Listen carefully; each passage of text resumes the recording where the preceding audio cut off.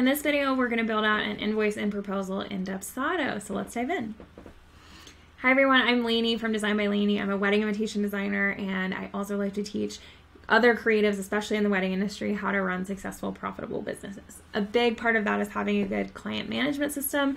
Um, so I review a bunch of them on my channel. I have a whole playlist on a bunch of different systems, compare and contrast, um, and giving you tutorials so you can see the in-depth analysis of how to use these systems to make your life easier. Dubsado is the system that I actually use for my wedding invitation clients. Um, and I do have a code as a certified Dubsado specialist that will get you 30% off, which is designed by Laney. That link will be in the description of this video too. So I have this project created. I filmed a video doing that if you're not sure how to create projects. Um, it's in Dubsado. The project is already here, so now we need to build out an invoice and proposal. And why we need to build out the invoice first is because it's set up in our proposals. So I'll show you what that looks like. So when we go into our forms, um, our proposals, we are going to use this day of proposal. And our proposals look really short and simple, and that is on purpose. I like to keep things simple. So all I have here are these smart fields. The name, client name, it's going to fill in whatever the client name is here. Wedding due date, it's going to fill in the job date here. And then we have job invoice items and total job invoice total that's basically it. I have two things here about just terms and conditions, and someone has to check and if they agree to those above two policies. Um, and that is literally everything that's on this proposal, but it doesn't really look like much. So that's because we have to fill in the invoice items first. There's other things that you can put on this. I'll show you a different one that I use. This one is for custom invitations and it's got a little bit more information. This is about you know, what to do and the process. And then we have frequently asked questions and some examples of uh, some of our mock-ups so that people can see what they look like, how many extras they can order, changes to the proposal, etc. But then after that, we basically just got this same exact thing and then a little bit of information about what's next. These people are usually spending a little bit more. The proposal is a little bit more complicated, so I like to guide them.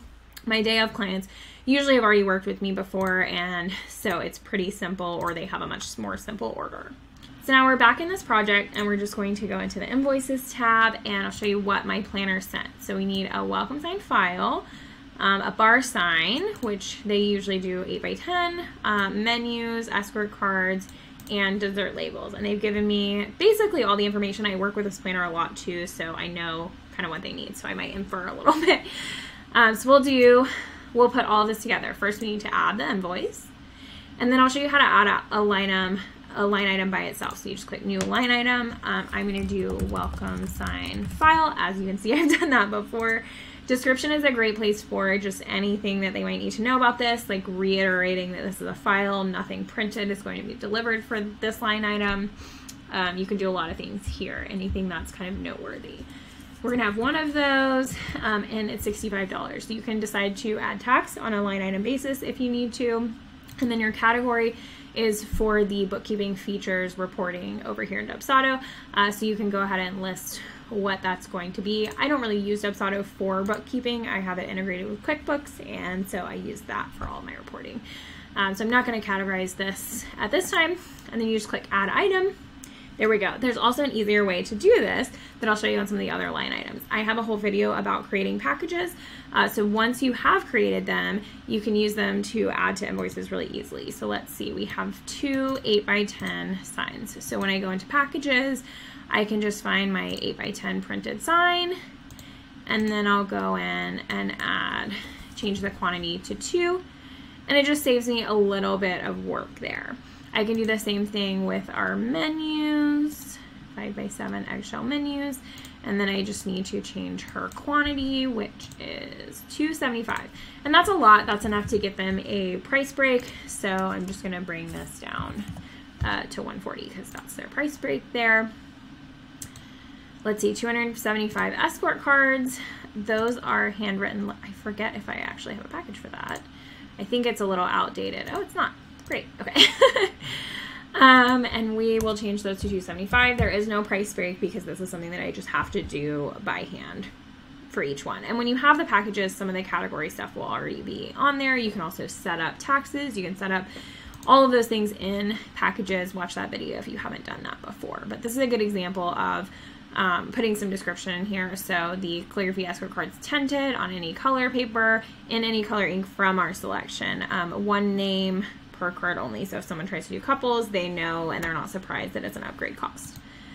Lastly, we have 10 dessert labels. I bill those basically the same as escort cards uh, because they're pretty much the same thing in the case of this planner. We have 10 of them.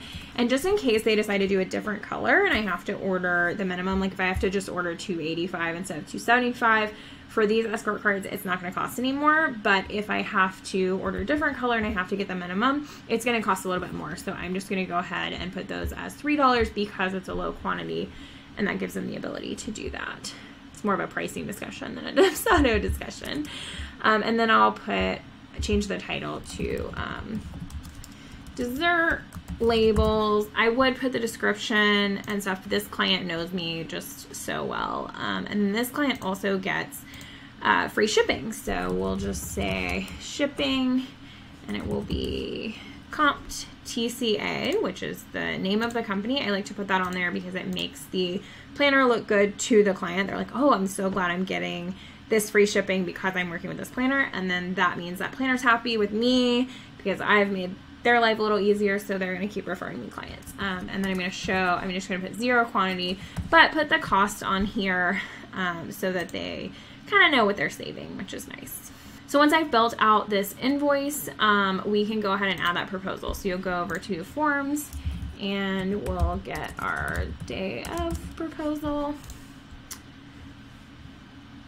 And now, okay, it looks exactly the same. Sometimes you need to add it and refresh sometimes. So if it ever happens that something's not filling in, just give it a little refresh. That happens sometimes. So now that we have that proposal, it looks a little bit more exciting because that smart field of the invoice and the invoice totals have filled in. So now everything we put on the invoice is in there. It looks a little bit more interesting and then they're able to look at that, agree to the policies and submit so there are a lot of ways to do proposals in Dubsado, and I'll show you a couple other ways in a different video, but this is my simplest way to do it, um, just by building out that invoice. It's solid, it's really easy to do. I can use the packages, I have everything right there ready to go, um, and then it fills automatically into the proposal. So I think this is a great way if you're building out custom packages.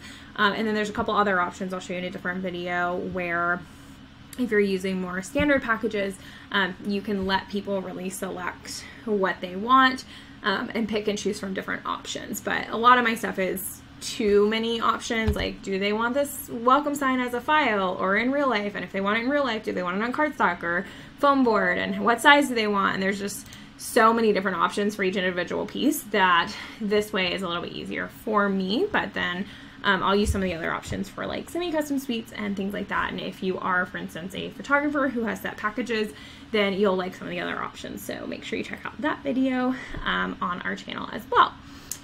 While you're here, watch all of our other Dubsado videos um, and other client management systems if you're still deciding which one is right for you.